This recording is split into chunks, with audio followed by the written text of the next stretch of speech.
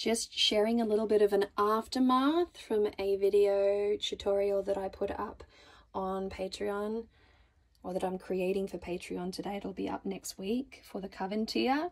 We're making broom charms and that is a multi-layered broom charm with lots and lots of yummy ingredients and the mess that is left behind. There you go. Magic is meant to be messy. Your hands are meant to be dirty and gritty and sticky.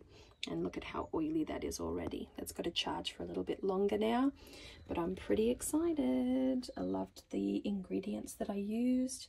Made a bloody mess with them, but all in all, a grand success.